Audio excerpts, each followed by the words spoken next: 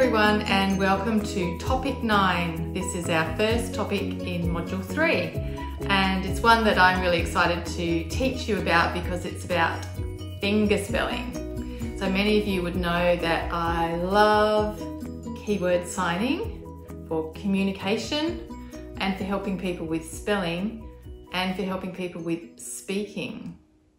And the sign to be clear is two fingers going to five fingers, clear.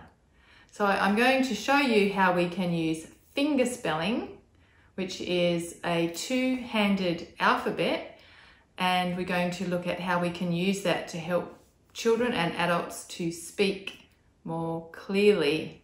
So it's actually going to be part of our articulation program. So first of all, what sort of finger spelling are we going to be doing? We're going to do the two-handed alphabet that's used in Australia, in New Zealand, and in the United Kingdom. So that's British Sign Language, Australian Sign Language, and New Zealand Sign Language. And they all use this same two-handed manual alphabet. So shall we start by having a look at how to do the alphabet? And you'll also be able to refer to the finger spelling chart in your handout For a right-handed person, I would pick a pen up with my right hand. So I'm going to make like a pen or a pointer with my right hand. My left hand would be a bit like the page. So if I was writing on the page, so my left hand sort of remains still. We call that like the base hand. So we've got a moving hand and a base hand. Some people also refer to this as dominant and non-dominant. If you're left-handed, then this would be your dominant hand and this would be your non-dominant hand or base hand. Okay, so for my vowel sounds, I've got my point, I've got my page, and I'm just gonna look down at A, E, I, O, U. And if I turn it to face you, I'll just come in front. A, E, I, O, U. For our consonants, I'm just going to go through them once fairly quickly because you can always replay the video. So we've got a B like this, or you might see it with the fingers down, but I'm going to use B like this. C is with my dominant hand. D, I make a pointer on my base hand, bring the C in, and I'll just turn now. Can you see how it looks from my side? And that's how it looks from the viewer's side. E was our vowel. For F, both hands have two fingers, dominant hand on top. F. G is fists, dominant hand on top. G. H or H is flat hands, palms facing, dominant hand on top. H. Then we've got our vowel I, J, so I'm coming down the middle finger and around the thumb. If you're left-handed, it doesn't matter that it feels back to front. J, K. So the two pointers, your dominant hand bends and comes in here. K. For L, M, N, one finger, L. Three fingers, M. Two fingers, make sure they're together, N. O for P, make a circle with your dominant hand, a stick with your base, P. For Q, put the circle on the base hand. You can have fingers up or down. I have fingers up and hook in Q. Now for R, just unhook, flatten and face the thumb ah. So my fingertips the same way as the thumb. ah. S is the little fingers, dominant hand on top. S. T just comes into the side here. T. U is the last of the vowels. V with fingers apart. W, just got the fingers interlocking. Y, can you see it's on the back here? Y, Z. So a bent hand and a flat hand.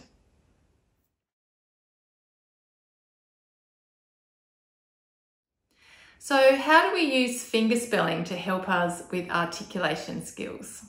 Well, finger spelling is a way to communicate. It takes a long time if we spell every word, but it can also be a way to communicate as like a prompt.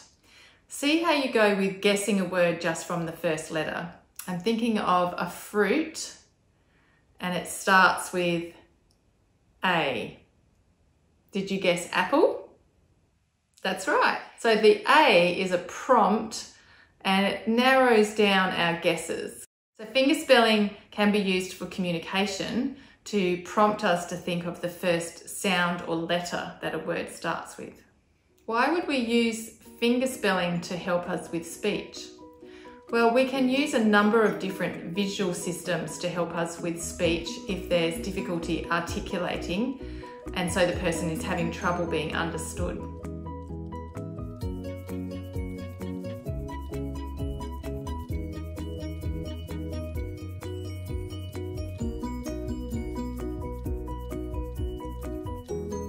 I wanted to tell you that my favourite food is hee hee, hee hee, and you're like, oh, I don't know what that is.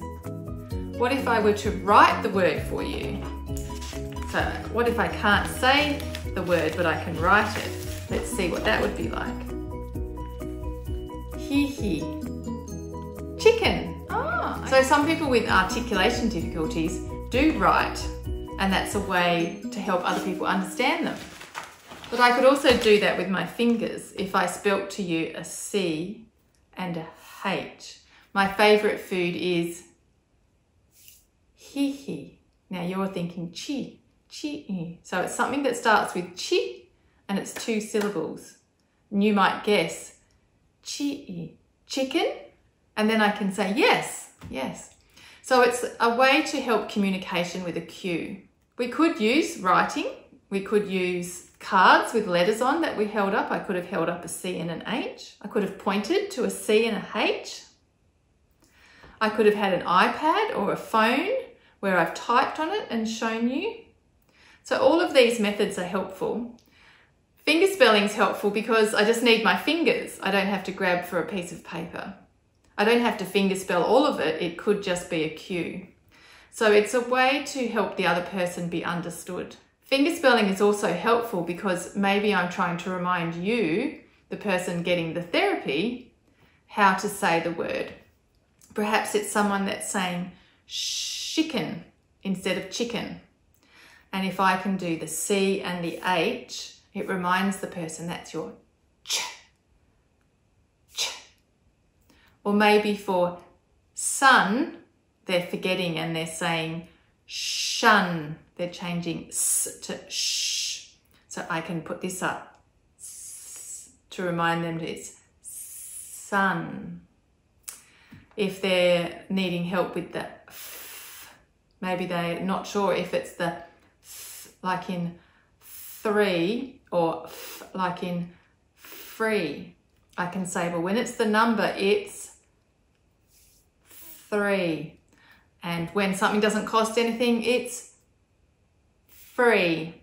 See how you, I'm using my mouth position as a prompt and my finger spelling as a prompt. So for someone working on the two together can be really helpful.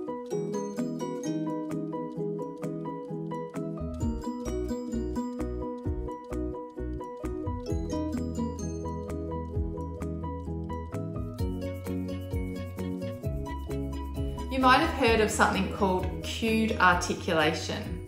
Cued articulation is a system whereby we use fingers around the mouth and around the throat to show where in the mouth the sound might occur and whether the sound has the voice on or off. So you can use cued articulation and a lot of speech pathologists do. But the reason why I'm making a video on finger spelling is because fingerspelling is a skill that people might already know or might be quite happy to learn because they can use it for other aspects of communication. Whereas cued articulation is quite specific just to people that are needing it to practice their articulation skills.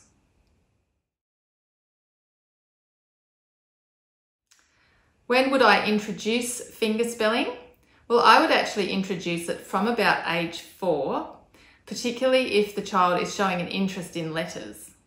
So it's quite easy for a child to see some easy letter shapes like T, and I might say, look, it looks a bit like a T, or N. Can you see the two sticks? Let's draw an N with the two sticks, and there's an N on my fingers. Or I might do it with my S, like my snake sound. Hear my snake? S, and this means S or S. So I'd introduce it anywhere from age four for a child that's showing interest. But typically I would use finger spelling to help with articulation from about six or seven onwards when the child definitely understands about letters and might be thinking about letters and sounds and how what they're saying relates to a word they might spell.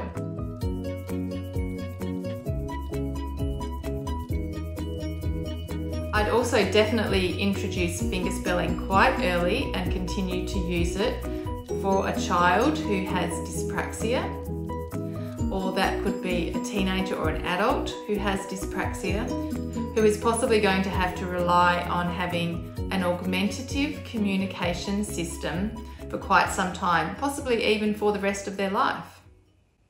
Finger spelling for someone with dyspraxia is going to be useful when they're trying to make themselves understood and also when they're trying to make the correct sound for themselves. I think keyword signing to help with articulation skills is suitable to try with most clients, particularly if they enjoy it and they like visual prompts.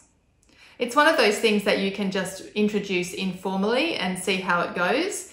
If the client is responding and the family's positive and it seems to be helping, then use it. You can use it a little bit or you can use it a lot. If you introduce it and the client seems to be ignoring it or not really liking it, or has a preference for maybe handwriting or picture cards or letter cards, then just go with whatever seems to work best. For a lot of people, using finger spelling is a really fun, positive thing. Some children feel quite clever that they know how to finger spell, that they can spell their name, and they use it really well to help them with their speech. So it can be a really fun, positive thing to do. I like using finger spelling to help with articulation skills. So I'll give you a couple of examples. I've got a game here, pizza game. So let's say I had a client and instead of calling it pizza with a p, p they're calling it pizza with a b. What I might do is, is I show them the piece. I'd say, could you tell me what this is called and remember to use your p. And I'll actually do the p onto the letter P.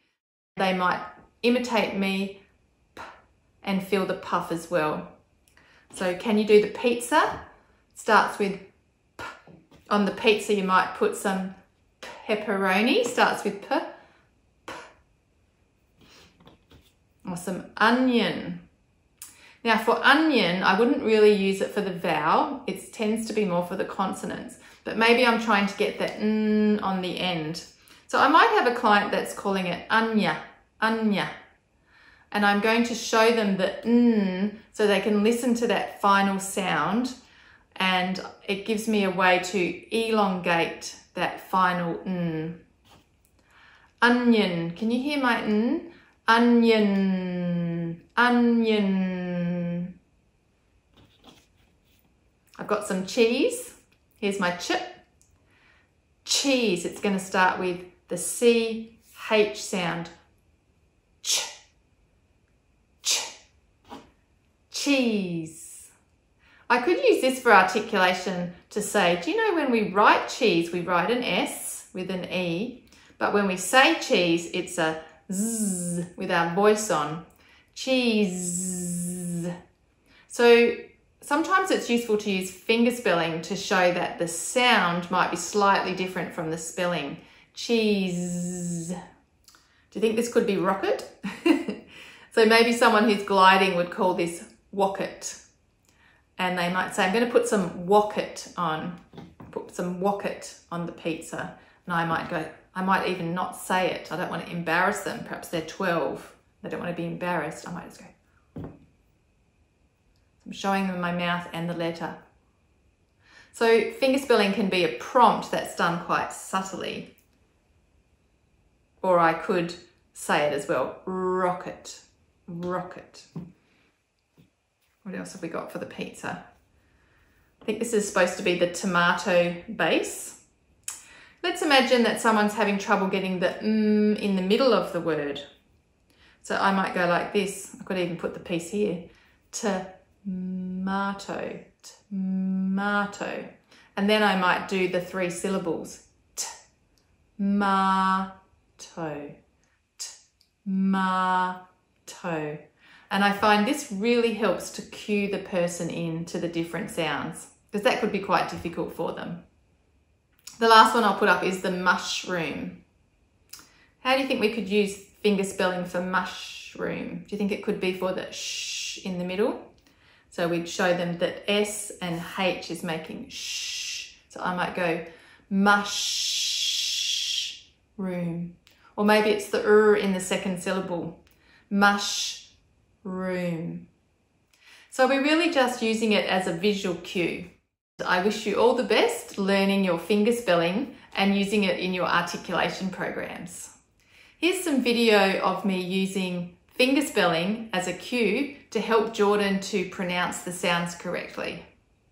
I'm going to use my finger spelling to help me. In, and then when I do my st, I might put my d in there. You watch. In Instagram. Your turn. In Instagram. Yeah, really good. My turn. Instagram. Your turn. Instagram. Wow, it was really clear, Jordan. Really clear. Do you think lots of people like Instagram? Yes. Yeah. They look at it on their phones and on their computers. I prefer. You like it on your phone the best? Yeah. Yeah, that's good, isn't it? Mm. Phone. Phone. Phone. Does it start with f? Phone. Yeah. Yes, you heard that. Well done. That's an important word, isn't it? It's important to be Yeah. able to say phone. Watch how many sounds are in phone. Oh, mm. Phone. Oh, I couldn't hear the n that time. I heard f o. Phone. Can you say the sounds with me? Good. O, Oh. mm. Excellent. And now let's finger spell just the sounds. O, Oh. mm. Oh, good. We really want the n on the end. My turn. Phone. Your turn. Phone. Yes. Could you hear how it was really clear when I heard your mm? Let's try the finger spelling. Can you show me N on your hand, please? Can you do it with your hand? Good. Right, my turn. Phone. Your turn. Phone.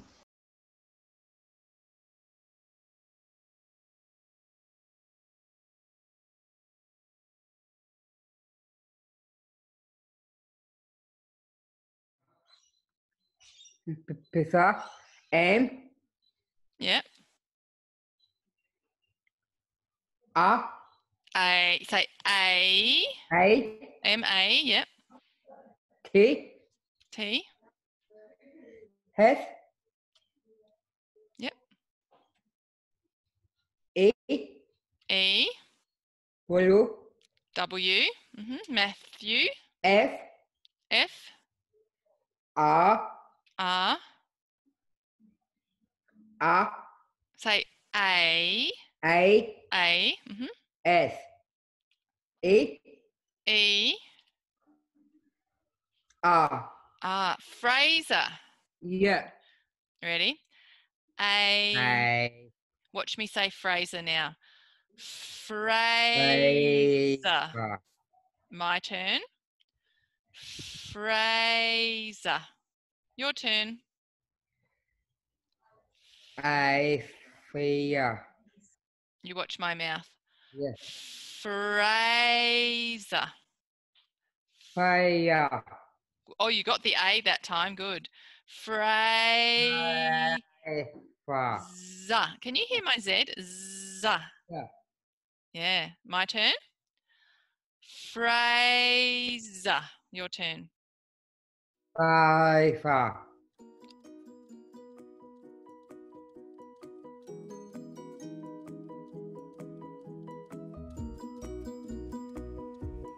I think you'll agree that the finger spelling really improved Jordan's speech clarity and it really was a way for him to communicate his needs and his opinions.